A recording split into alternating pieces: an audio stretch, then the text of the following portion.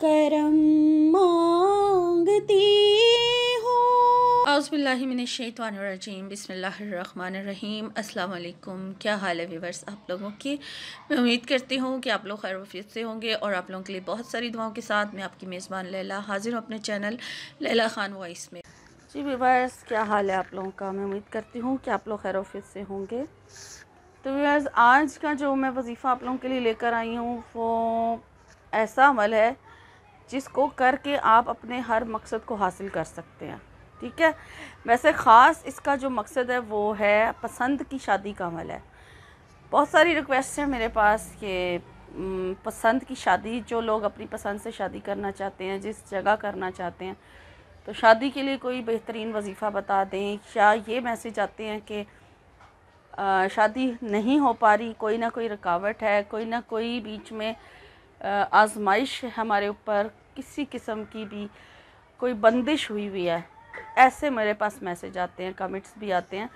तो ऐसा कोई अमल बता दें कि हमारा ये जो मसला है, शादी वाला, ये हाल हो जाए।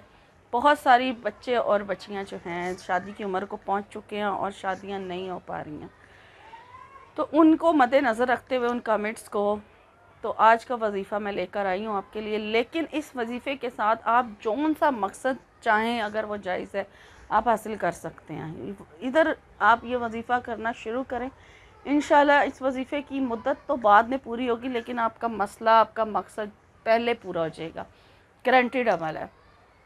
तो वजीफ़ा बताने से पहले मैं आपसे रिक्वेस्ट करूँगी कि मेरे चैनल को सब्सक्राइब कर लीजिए और बेल का निशान भी प्रेस करें ज़रूर, ताकि वीडियो का नोटिफिकेशन जैसे ही वीडियो अपलोड आपको मिल जाए और इसके अलावा मैं आपसे ये कहना चाहूँगी कि मेरे वीडियोस का जो लिंक है, वो ज़रूरतमंद लोगों के साथ ज़रूर शेयर किया करें, ताकि नेकी के इस अमल में आप भी मेरे साथ हिस्सेदार बन जाएँ। और विवर्स दुआओं में ज़रूर याद रखा करें। तमाम उम्मत मुसलमान के लिए दुआ किया करें। पहले अपने लिए दुआ किया करें, फिर आप तमाम मुसलमानों के लिए दुआ किया करें। या फिर आप किसी के तवस से दुआ मांगा करें। ठीक है? जैसे आपने तमाम मुसलमानों के लिए दुआ की फिर उनके तो फैल अपने लिए दुआ किया करें। तो इस तरह से भी दुआ जो है आप लोगों की कबूल होती है। तो विवर्स वजीफ़ा शुरू करने से पहले जैसे मैं हर वीडियो में कहती हूँ कि सदका खैरात ज़रूर करें पाँच वक्त की नमाज़ की पाबंदी करें और आ, बाकी अपने अमाल की तरफ़ ज़रूर देखें कि आप सारा दिन में कितना झूठ बोलते हैं या आपसे किसी को कोई तकलीफ़ तो नहीं पहुँची है या किसी का दिल तो नहीं दुखाया आपने? क्योंकि ये जो अमाल होते हैं ना, ये हमारे, हमारी दुआओं की जो कबूलियत होती है ना, उनमें रुकावट का बाइस बनते हैं और हमारे वज़ाइफ भी इस वजह से कबूल नहीं हो पा रहे होते। जब हम कोई ना कोई ऐसा अमल कर रहे होते हैं, जो अल्लाह को पसंद नहीं होता। और इसके साथ साथ ये भी देखा करें कि रिस्क हलाल खा रहे हैं या नहीं। तो ये सारी चीज़ों का ध्यान रखते हुए वजीफ़ा किया करें। और इस, क्योंकि बाज़, जो लोग ये कहते हैं ना कि हम, हमारा हमारी दुआ कबूल नहीं हुई, हमारे वजीफ़े कबूल नहीं हुए। ये बात मैं उन लोगों के लिए कह रही हूँ, जिनकी बातें पूरी हो जाती हैं, जिनकी दुआएँ पूरी हो जाती हैं, उनकी तो हो जाती हैं, लेकिन जिनकी नहीं हो पाती, वो फिर ऐसे ऐसे कमेंट्स करते हैं ना कि, फिर वो ऐसे ऐसे कमेंट्स करते हैं कि आपके वजीफ़े बेकार हैं नाउज़बिल्ला अल्लाह की कलाम का ज़िक्र होता है तो ऐसे अल्फाज इस्तेमाल ना किया करें। अल्लाह के नामों के वज़ाइफ बताती हूँ, अल्लाह की कुरान की सूरतों के वज़ाइफ बताती हूँ, आयात का वज़ाइफ बताती हूँ। तो ऐसी चीज़ें मत ज़िक्र, ऐसे अल्फाज मत बोला करें।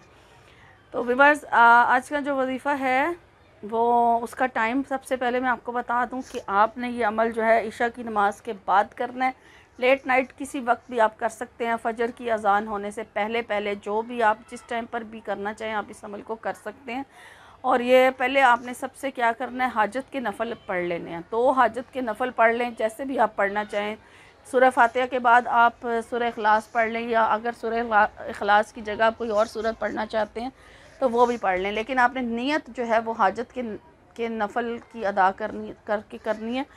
नफ़ल अदा करने हैं तो दो रकात हाजत के नफ़ल अदा करने के बाद फिर आपने अपने मकसद की दुआ करनी है। जिस मकसद के लिए आप इस वजीफ़े को कर रहे हैं वो करनी है और उसके बाद आपने आ, आप द्रोशिप पढ़ना है। ठीक है मैं आपको सजेस्ट करूँगी कि आपने इक्कीस मरतबा दरुद इब्राहिमी पढ़ना है। ठीक है इक्कीस मरतबा शरीफ पढ़ें आप और वैसे तो ग्यारह बार भी पढ़ सकते हैं, लेकिन अगर आप इक्कीस बार पढ़ लेंगे तो बहुत ही ज़्यादा बेस्ट होगा। इक्कीस मरतबा दरूज शरीफ पढ़ने के बाद आपने आयत करीमा पढ़ना है। ठीक है, बिस्मिल्लाह एक बार पढ़ ली शुरू में। बिस्मिल्लाहिर्रहमानिर्रहीम ला इलाहा इल्ला अंता सुबहाना का इन्नी कुन तो मिनज़ालमीन ये आयत करीमा आपने पढ़ना है और इसको आपने एक हज़ार मरतबा पढ़ना है आप ठीक है? आपने एक हज़ार मरतबा इस आयत को पढ़ना है और पहले इक्कीस मरतबा ज़रूर शिफ पढ़ें। सबसे पहले दो रकात नफल नमाज़ अदा करें हाजत के, फिर अल्लाह ताला से अपने मकसद की दुआ करें, नियत करें और फिर उसके बाद आपने इक्कीस मरतबा दरुद इब्राहिमी पढ़ना है, फिर एक हज़ार मरतबा आयत करीमा पढ़ना है और जब एक हज़ार बार आपका आयत करीमा पूरा हो जाए, उसके बाद फिर इक्कीस मरतबा दरुशिफ पढ़ें और फिर गिड़गड़ा के अपने रब के हजूर अल्लाह से दुआ मांगें। अगर इस अमल को तहजद के टाइम पे तहजद से पहले या तहजद के बाद किया जाए तो वो टाइम ऐसा है कि उस टाइम मांगी गई दुआ लाजमी कबूल होती है तो बेहतर है कि आप इसे उस टाइम पर कर लें। लेकिन अगर आप तहजद के टाइम पे नहीं, आपकी आँख खुलती, आप आदि नहीं हैं तो फिर आप इसे ईशा की नमाज़ के बाद कर कर सकते हैं इस अमल को। ठीक है? अब आपने जो टाइम पहले दिन रखना है बाकी दिन, जितने दिन का भी ये अमल है, आपने इसको उसी टाइम पर बैठ कर करना है। बेहतर है कि जगह भी वही रख लें तो बहुत बेस्ट होगा। और ये अमल आपने लगातार करना है बारह दिन। बग़ैर किसी नागे के ख़वातीन भी नागा नहीं करेंगी बीच में। ऐसे दिन में अमल शुरू करें कि उनके बारह दिन मुकम्मल हो जाएँ। बीच में किसी किस्म का कोई नागा नहीं होना चाहिए।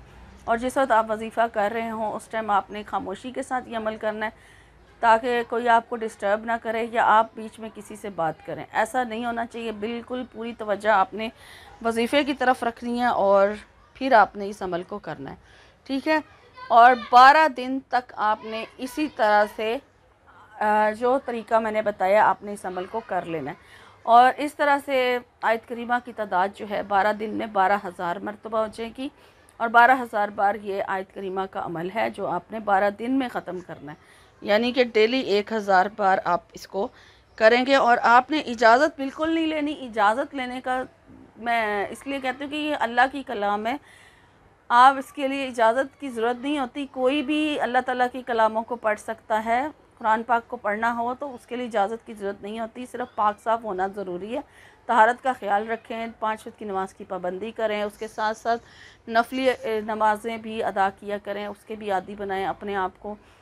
और बनाएँ। और इसके अलावा जो मैं कहती हूँ ना आप, आप लोग कहते हैं हम आजमाइशों में हम बहुत परेशान हैं।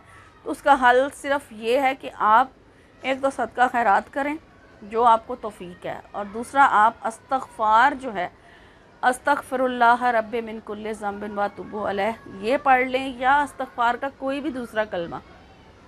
ठीक है? जो आपको इजी है, वो आप कम अज़ कम रोज़ाना एक हज़ार बार और ज़्यादा से ज़्यादा दो हज़ार बार डेली पढ़ें। अगर सोने से पहले पढ़ेंगे तो बहुत बेस्ट होगा और पढ़ें, इसको रूटीन बनाएँ और इसके साथ साथ द्रुशीफ की कसरत करें। दरूज शरीफ की कसरत करें, चलते, फिरते, उठते, बैठते दरूज शरीफ आपकी ज़ुबान पर हो।